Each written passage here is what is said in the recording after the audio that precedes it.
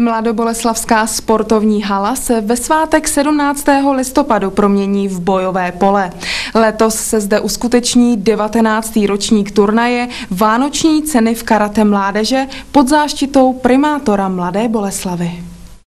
Mladá Boleslav zažije další vánoční cenu v karate. Do města automobilů se sjedou karatisté z nejrůznějších koutů nejen České republiky. Organizátoři finišují s přípravou. My se snažíme zachovávat tradici a 19. ročník bude vlastně takový předjubilejní, čili je to pro nás generálka na uh, už příští rok, kdy plánujeme 20. ročník uh, tohoto turnaje.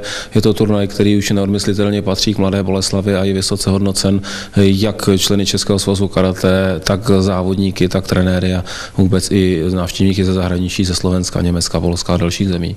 Kolik těch závodníků tady bude v Mladé Boleslavi?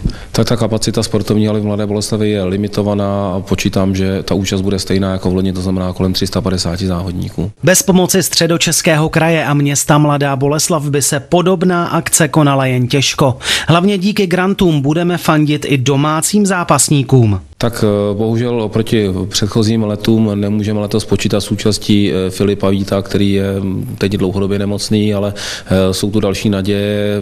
Mezi mladšími žáky to bude Martin Pech a Jakub Pečenka, kterým věřím. Mezi žáky nimi potom Eva Vyskačilová, ale je tu celá řada dalších závodníků, kteří by mohli pozbírat Vavříny na domácím turnaji. Sezóna pro karatisty z Mladé Boleslavy tedy míří ke svému vrcholu. Ladislav Mareš své svěřence pouze chválí. Tím vrcholem bude Vánoční cena a následné mistrovství České republiky. Co se týká sezóny, ale tak celkově ji můžeme hodnotit zatím jako úspěšnou. Získali jsme, tuším, asi 8 nebo 9 titulů krajských přeborníků.